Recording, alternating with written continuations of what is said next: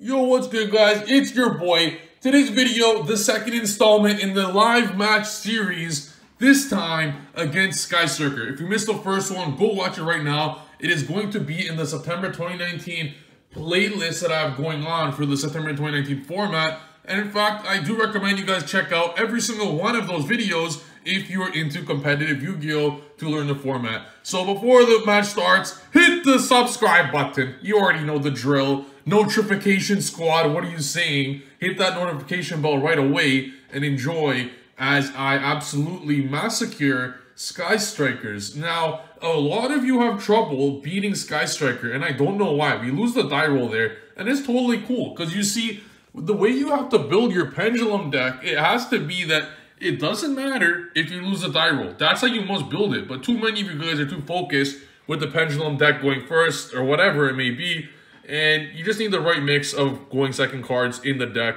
And you're going to see just how amazing they are as I play. Now, it's going to be a long match. I'm actually making this match three times the actual speed of the actual video because, uh, yeah, who's trying to watch a 50 minute match here? It was actually 50 minutes, like an hour even. There you see the Blue Boy card I put on. The Blue, I'm telling you right now, man, the Spellbook engine in Pendulum is amazing. We do play nine cards like Servant, Abductor, Mastery, and if you draw one of the spellbook cards, it ends up making those cards insane. But we didn't draw it in conjunction here. I believe I actually ended up drawing at the very end, I believe. But you're going to see, like, the Blue Boy's insane. It actually forces him to use a Widow.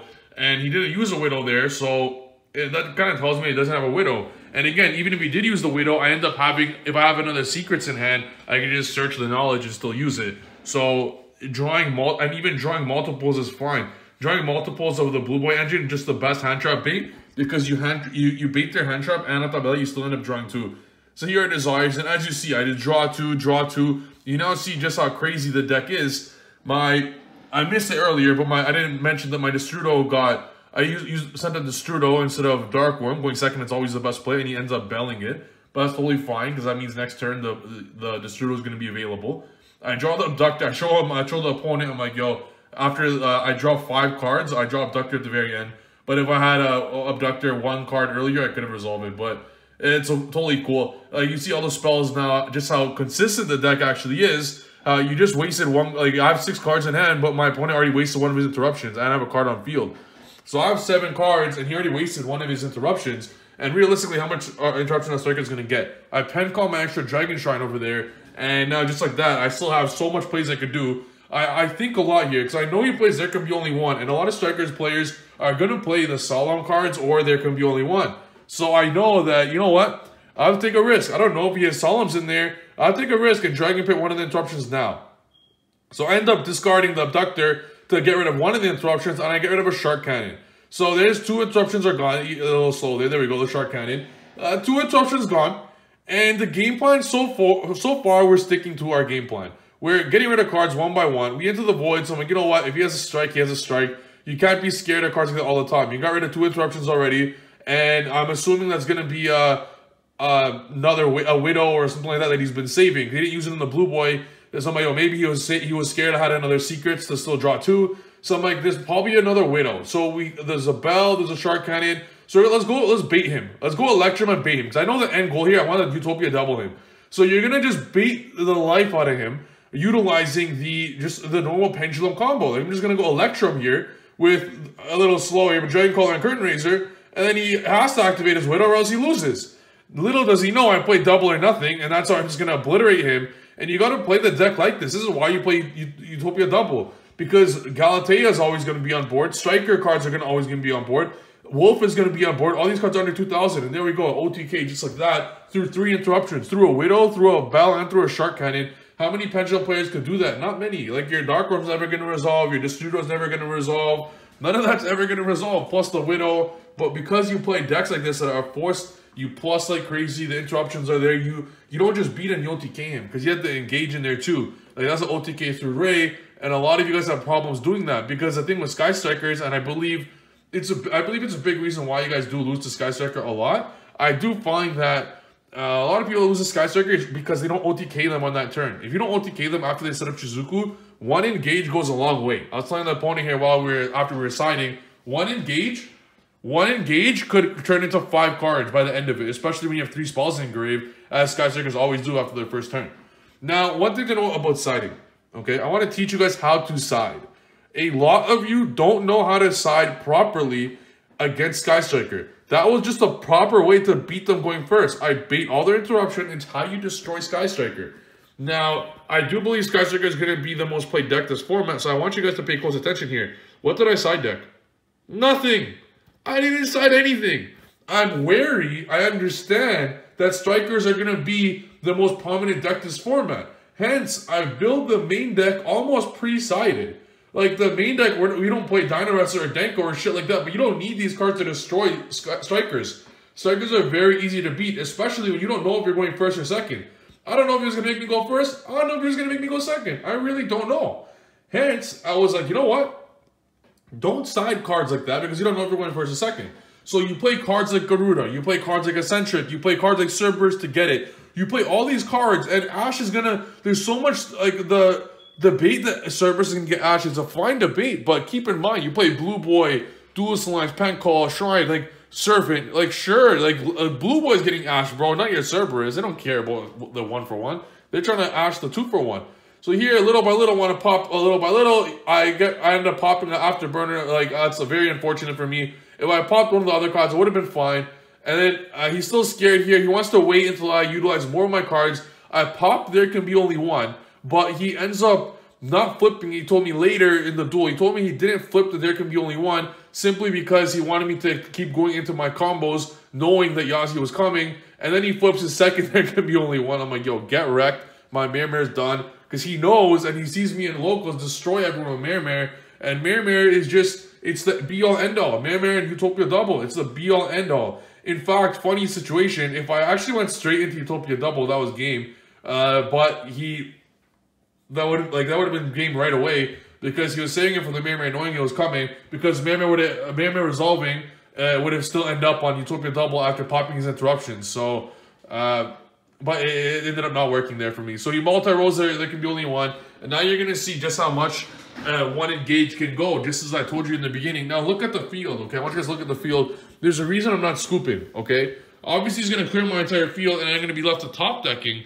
Now, you guys got to understand, okay? Strikers are very bad in the grind game. Now, let me introduce to you the Pendulum vs. Striker grind game. All right, this grind game literally took 40 minutes alone. The game alone, it would have ended on a draw 1-1 with time rules, but uh, I realized it was real time rules, or the scoop, obviously, but this is how you beat the Striker deck. You just outgrind them, okay? I put this on seven times the speed versus the three times the speed that we had for the beginning of the video so far, and you're just gonna look how I grind him. I literally just summon Poison, and wait for him to uh, exhaust all of his resources little by little, little by little. He may have five cards in hand, but and he's gonna set five and have five cards in hand by the end of it. But I'm like, good. And draw all the engages you possibly can. Look at that. Like, how am I gonna deal with this, right? A lot of you would just scoop. I have no cards in hand, like nothing. But I'm like, yo, little by little, I'm gonna pop every single thing he has. Little by little, one by one, no matter what. Just little by little. You're gonna exhaust all his resources until eventually he's out. I'm literally, this is a 40 minute game we're talking about. But like I said, I'm putting this on seven times the speed just so you guys understand. All I'm doing, in fact, I made a big misplay there. I would have won the duel. Uh, big misplay. He MST's my Dragon Pit while Time Gazer was on scale, and I didn't realize at all. So it was a huge mistake on my end. I never missed Time Gazer. I'm always always pro play the opponent with Time Gazer. But the one time I missed it, I couldn't believe it. I would have actually won it. I would have been insane so you for you guys to see this on video. I could have won this entire game, even though I was down like minus eight cards in card advantage. But I was didn't even realize my time gazer was on field. So what a gigantic mistake. Uh, so never forget that time gazer can protect your scales. I was so disappointed with myself, but again, just because you make a misplay, you can't let the whole game go down the drain just because of your one misplay. So I told myself, I'm like, you know what? The game's not over. I'm gonna win no matter what. I made a misplay, but I'm just never gonna give up. So here what I do, he, has, he goes puts his boss monster up top of logic. I pen summon, but he saves it with ego booster. After he attacks, I'm at 100 life points at this point. I'm like, okay, I could clear his board, and I just gotta hope he doesn't have a Ray. I looked at his graveyard. Every single Sky Striker card in his entire deck is in the graveyard right now. So the only card left for him to win is a Ray. If he has a Ray in hand, I lose. Otherwise, I win the duel after going minus 8. And just like that, he had the Ray and Hayate for game. Uh, and just like that, you see how close I was to win. And I was so damn close, even though I was down by 8 cards. So what we're going to do now is I just want to tell you guys, never give up no matter what. I almost came back down 8 card advantage to Sky Striker. The grind game of Striker sucks. You'll be surprised how far a Pendulum Summon one card can go, especially a Purple Poison, to pop the roll, etc. Now we're going to put the speed back to 3 times the speed and go into game 3. And this game 3 is a doozy where I play through some crazy stuff. Now we're back at 3 times the speed. And as you see, I got Curtain Raiser and Blue Boy, my favorite. Again, I actually, you're to have to understand this, okay? The thing with Blue Boy is that it plays around everything, okay? He is gonna be forced to stop it, and if he doesn't stop it, that just shows me he has no hand trap, no, no Ash, no nothing. Now, we have Servant, and as you see, a God opening, obviously, but there's one issue with this hand that stops everything from, uh, that stops it playing over Nibiru, and that was that we hard drew Jackal. So even though, that's also, you play 60, not to draw the card you don't want to draw. That's another reason why you play 60. We have to use Servant to bring out Endymion, and just like that, I don't have my Jackal. And I'm like, God damn it. If he has Nibiru, I get wrecked. So I end up pro playing him, I'm asking, yo, Jackal, or, yo, oh yeah, Jackal, no, you don't have Nibiru, Nibiru, Nibiru, Nibiru. I keep on bringing up Nibiru to him, and I just read that he had no Nibiru. And spoiler alert, I'm about to get absolutely wrecked by a Nibiru over here, but because we hard drew the Jackal.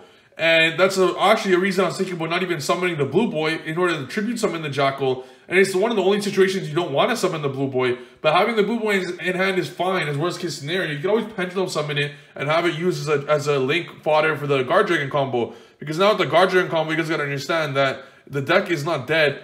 Uh, if you draw these cards. And just like that, he wanted to wait for me to extend all my cards out in the beard a little earlier but he wanted to make sure uh, I use utilize all my resources. I would have done it straight on Electrum, but he was scared I could do more because he sees what I do all the time. So what he ends up doing is popping my entire field, or stripping my entire field. But you didn't even normal attribute some pendulum summon yet. So you guys got to understand, even though you didn't pendulum summon yet, you, you could even through Nibiru, you could still put up a board. Like you could still put up a board through Nibiru, no problem, and end up just some, uh, pendulum summoning the Jackal and the Zefraniu, we have a Dragon Shrine in our hand that we dead drew. We dead drew a lot of cards within this, but that's totally fine. I'm uh, now going to go into B-Cop. B-Cop used without tokens is great. And you're going to go Shrine first to put up a counter on Jackal in case he has another hand trap. And even through Nibiru, we're going to set up the full Guard Dragon combo, even through Nibiru, which is insane. And through Nibiru, bro, like we're talking through Nibiru, you're going to have the full Guard Dragon combo plus a Zefraniu Divine, and Divine Strike. So that's what I'm talking about. You got to save your shrines when you can. You got the Destrudo in there. Like, it's, I'm telling you, this deck is a lot better than you think. And we're gonna, he actually misplaced himself over here. What he should have done is attack into Nibiru with Seal. And of course, I would have let it die, but that would have let his, and then I should have negate the terraforming. So I should have done is negate the terraforming, uh, and then the attack, uh, he was going to attack, so that's a big mistake on my end, because I thought I was going to save the seal for that. And we both uh, made a mistake there because it ended up working out for me because he didn't attack. But the best thing to do is always ensure if you if the striker player Nibiru's you, you got to negate every single card possible that's going to let him use his cards. So I would have still ended up negating the the area zero regardless, and he would have summoned out the Ray. But I just let him have a free spell card in there for nothing. So you want to negate all his cards possible. If he's playing strikers, obviously he can't use his cards unless he has area zero on roll. So even though he cleared my board, there's nothing else he could do. And at this point, the video actually is about to die. My phone dies He's going to pass his turn with double engage. He has a double engage, a twin twister, and the area zero I just bounced back. So he makes a mistake over there on his end uh, by not by not simply attacking. He obviously, and the Vortex 3000 can attack that, but he should have attacked the Seal. And in doing so on my turn, I simply go Borrelsword, Vortex, game, and I OTK him. He had double engage in hand. He had a broken hand, double engage in Nibiru with roll and area zero and he just couldn't pop the Nibiru because even through the Nibiru, we still ended up getting enough negates to negate the card. So, if you like this video, hit the subscribe button, and we'll see you in the next video. Peace!